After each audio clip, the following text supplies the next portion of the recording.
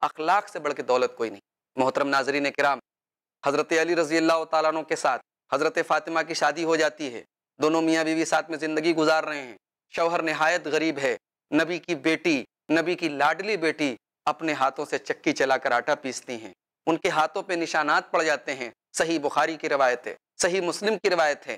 حضرت فاطمہ رضی اللہ تعالیٰ عنہ کو پتہ چلتا ہے۔ نبی کائنات صلی اللہ علیہ وسلم کے پاس کچھ غلام اور لونڈی آئے ہیں۔ وہ اس امید میں اللہ کے نبی کے پاس آتی ہیں۔ ایک خادم مجھ کو مل جائے، ایک خدمت گزار مجھ کو مل جائے۔ تھوڑا میرے گھر کے کاموں میں میرا سپورٹ کرے تاکہ مجھے کچھ آرام ملے۔ آتی ہیں۔ نبی کائنات صلی اللہ علیہ وسلم گھر میں تشریف نہیں رکھتے ہیں۔ آپ سے ملاقات نہیں ہوتی ہے۔ آپ کی پیاری بیوی ام المومنین حضرت عائشہ رضی اللہ تعالیٰ عنہ سے ملاقات ہوتی ہے۔ حضرت فاطمہ ان کو پوری بات بتاتی ہیں۔ اللہ کے نبی صلی اللہ علیہ وسلم جب گھر تشریف لاتے ہیں، حضرت عائشہ حضرت فاطمہ کی پوری بات نقل کرتی ہیں کہ آپ کی لاڈلی بیٹی آئی تھی اور آپ سے ایک غلام، آپ سے ایک خادم کی فرمائش لے کر آئی تھی۔ اللہ کے پیارے حبیب اپنی بیٹی کے سسرال پہنچتے ہیں، اپنے داماد کے گھر پہنچتے ہیں۔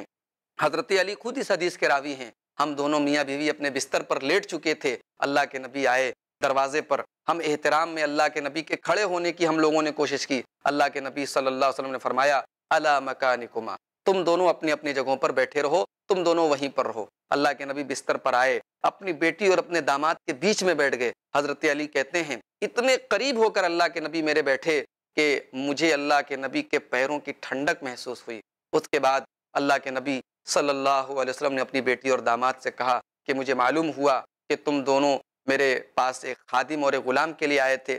ابھی مسلمانوں کو ضرورت ہے، ابھی میرے پاس اتنی استطاعت نہیں ہے میری بیٹی فاطمہ کہ میں تمہیں غلام اور خادم عطا کر سکوں۔ لیکن اللہ عد الکما اللہ خیر من ہو کیا میں تمہیں ایک ایسی چیز نہ بتا دوں جو غلام سے بھی بہتر ہے، جو خادم سے بھی بہتر ہے؟ جب تم دونوں اپنے بستر پہ جایا کرو رات میں سونے کے لیے، تو تینتیس بار الحمدللہ، تینتیس بار سبحان اللہ اور چونتیس بار اللہ اکبر پڑھ لیا کرو۔